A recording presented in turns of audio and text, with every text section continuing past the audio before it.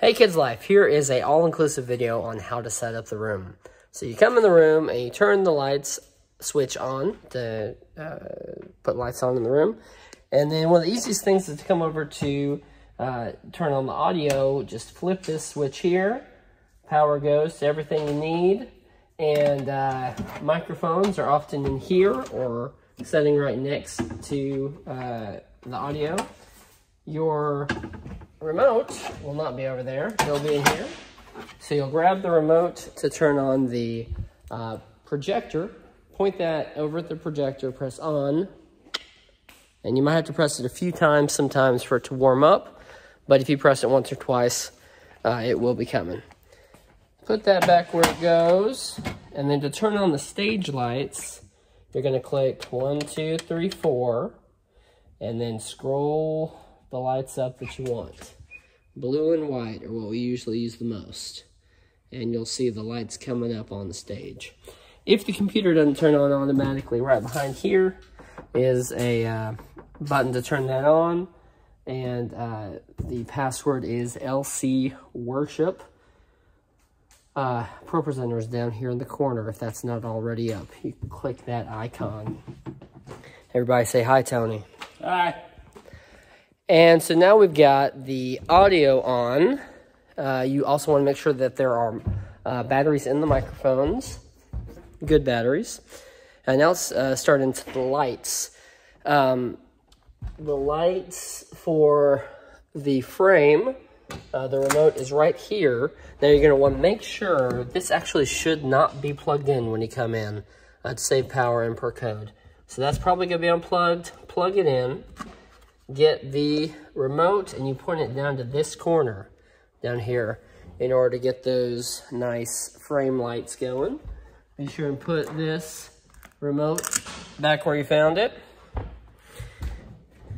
And when you plug in that outlet, this should come on. If this is not coming on, then we'll uh, talk later about how to turn our hex lights on. But those should be coming on. So now you want to come over here and this should be unplugged. So you plug this outlet in as well and that's going to turn on these hex lights. It looks like these are not on for some reason. So uh, one way to turn them on is down here next to the stage is a manual click and you click them on and uh, the other way would be through the iPhone app that Meredith or I have. Um, okay, let's come on over to, actually, we're going to head back to the booth uh, because there are two other lights to turn on. You're going to want these pretty lights around the computer on as well. So those are stay right here on the wall. Press the on the power button there. And then we got these cool lights going. And then to turn on our cube lights, you have to be close by them. So you grab this remote, again, over by the computer. We want to make sure we put all of our remotes back where they go. And then you're just coming over nearby and clicking these on. So that one's not coming on, so it wasn't charged properly. So um, if you come in on Sunday morning and one or two of them are not charged properly, be sure and let uh, a leader know so that we can have everything good. Now, when you turn it on, I forgot this, click it on, and then you click smooth, the bottom uh, right. That's what we like because it uh, alternates colors. And so it's a little more fun. So come close again, click smooth, and then they fade through different colors. All right, now let's uh, talk about how to turn on the hex lights on the back wall. What you're gonna wanna do is come over and uh, again, if you have uh, the app, if you have access to the app, then you do it differently. But if not, you'll just do it manually. Press this button here. There should already be presets what sh they should be to change the setting that you have to do through the app.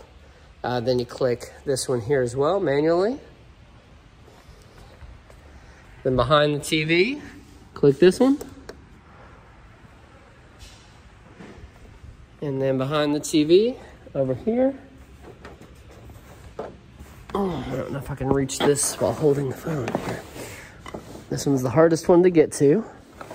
Get somebody with skinny arms to reach back there. And then this one up here you see is not on yet.